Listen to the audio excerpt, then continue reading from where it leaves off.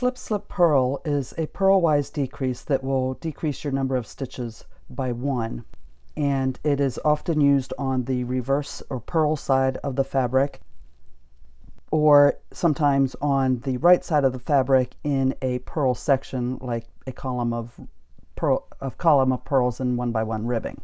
In this swatch that I've prepared has slip slip purl going up this side and purl two together going up this side and I have them both on the same swatch because they're often used in tandem to create symmetry in your work. For example, if you're doing waist shaping, you want to do decreases on both sides. Now, usually those decreases are done on the right side, but sometimes they are done on the wrong side or the purl side. So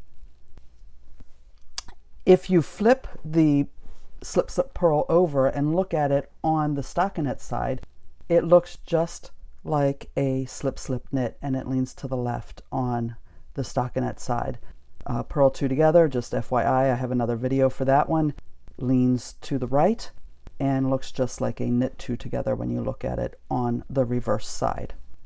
So now I'm going to demonstrate how to do the slip slip purl and if you've looked this up before, if you've done it before and you just need a refresher, I'm going to show you two ways. First, I'm going to show you the way that I don't like to do it and then and tell you why, and then I'm going to show you the way I do like to do it.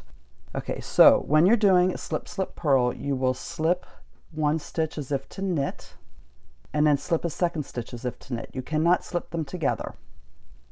Then the way many people show it is you transfer those two stitches back to your left needle of purlwise like this, bring the yarn forward, then purl through the back loop.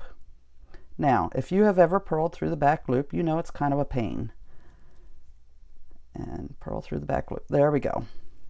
And that is a slip slip purl. And that is one way to do it, and it is a correct way to do it. However, it is not the way I like to do it. So I'm going to put these stitches back and show you the way I like to do it because I think it's easier. Okay, so it starts out the same. Slip one stitch as if to knit, slip the next stitch as if to knit.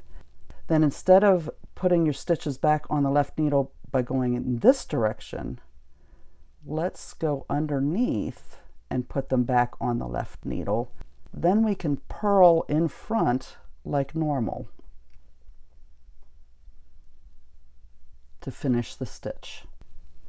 And I think that's a lot easier. So now I'm going to show it um, English style.